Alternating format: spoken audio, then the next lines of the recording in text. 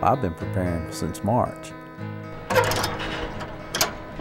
Okay, okay Wayne. Mr. Joe's brown sugar. And we're gonna take that in there. We're ready to go to Kansas City.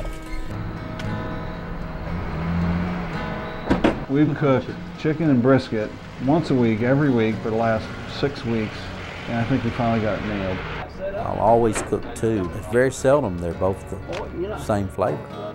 I'd like to just set it up across the front right there. Okay, but how deep do you want to go? Do you want so we've got a, quite a bit of open space So up you want to to set it right across here?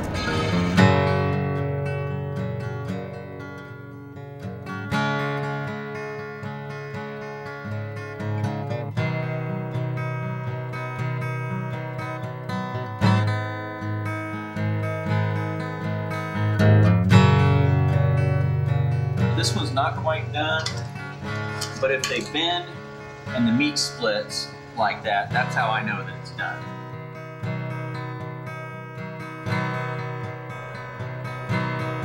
This barbecue community, uh, they're a good bunch of people.